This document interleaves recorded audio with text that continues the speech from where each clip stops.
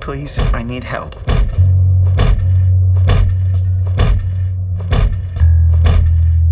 I've had marital problems. Honey, I think it's time that we start talking about a divorce. Larry, we're gonna be fine. Professional, you name it. Larry, we've received a number of letters denigrating you and uh, urging us not to grant you tenure. I need help. We're gonna be fine. I've tried to be a serious man. We're gonna be fine. Tried to do right, be a member of the community. We're gonna be fine.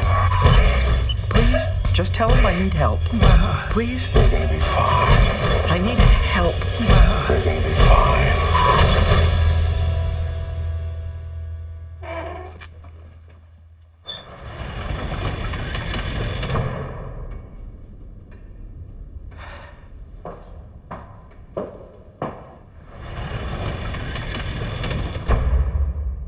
The rabbi is busy. He didn't look busy. He's thinking. Don't you want some